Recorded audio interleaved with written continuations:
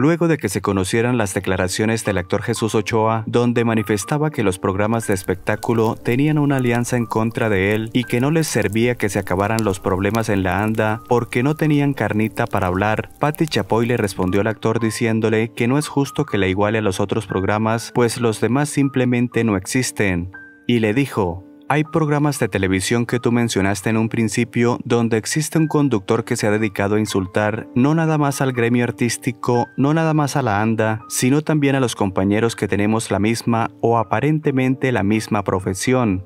Según estas palabras, Patti Chapoy pondría en tela de juicio las capacidades de Gustavo Adolfo Infante como periodista, algo que al parecer no le cayó nada bien y este le respondió, el conductor dio una entrevista para Mara Patricia Castañeda en la que le preguntó sobre su relación con Patti Chapoy y este manifestó que la respeta como periodista ejecutiva, mas no como una periodista.